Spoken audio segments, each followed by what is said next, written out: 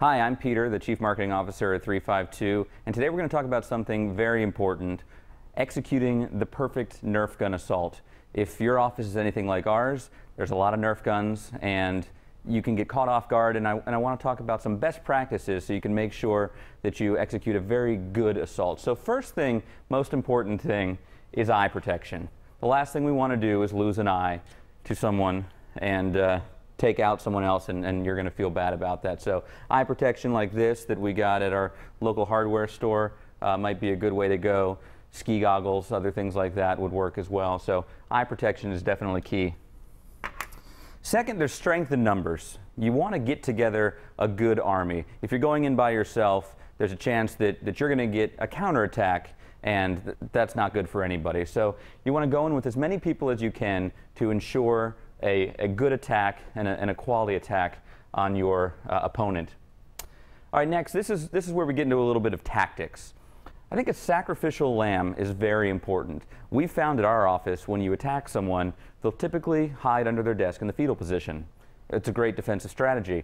So if you could draw them out of their office before by sending in someone to say, hey, come take a look at this on my computer, or you should see this huge spider in the hallway. Anything you can do to get them out of their office, to, out into the open where they can be attacked is key. So uh, sacrificial lamb, obviously they might take some crossfire, some friendly fire, and so um, you know that's why it's a sacrifice. Put a little friendly fire on that sad little lamb there.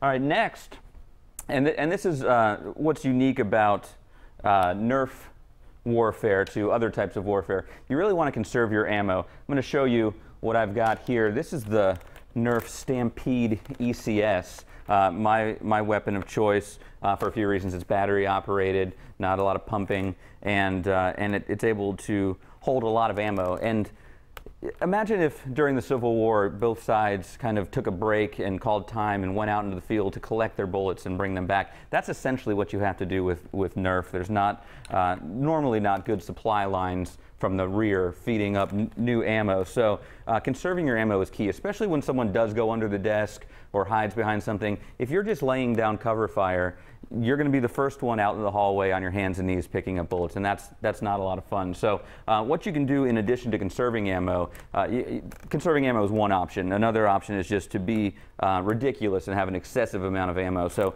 uh, you know, this this weapon comes with this small uh, clip here, which is probably uh, 10 rounds, maybe. what we've got also a couple options. I've put together this little homemade deal. it's it's an 18 uh, max clip there. And so what I've done is I've got it taped together with a second one. So when I run out, I simply pop it over and I'm ready to go again. Another, another little tip that I do is I will change the color of the last round at the bottom of the clip. So when I see that one come out, I know I'm empty. So I'm not going to ever be firing blanks when someone's coming right at me because that's, that's terrible. And if you really want to go extreme, which, you know, we're talking about Nerf wars at the office, so at this point, we're kind of beyond normal. So extreme is fine. I would suggest this kind of bandolier here. You can wear this around your shoulders or your, your waist. And, and something like this is going to let you have multiple clips, and you're going to be the last one on your hands and knees picking up bullets while everyone else is, is doing that. So, um, you know, th those are easy shots for you to take and, and succeed with. So consider something like that.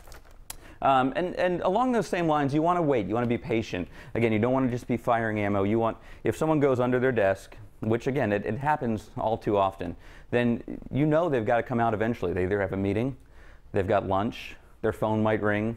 Any variety of things can draw them out from their desk. So just wait, hang out, have a snack, and, uh, and be ready to take them out.